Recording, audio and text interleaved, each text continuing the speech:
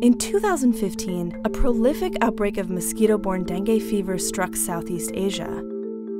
In fact, something was causing outbreaks to pop up all over the world. So, what happened?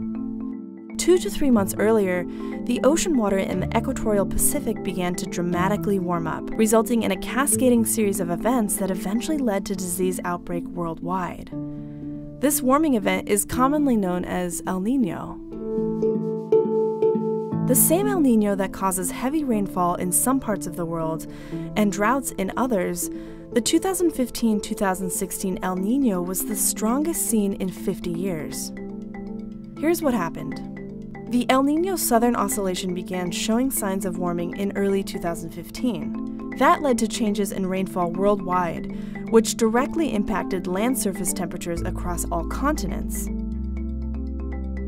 In the case of Southeast Asia, the region actually got less than average rain, which caused the surface of the land to heat up and therefore produce drier conditions.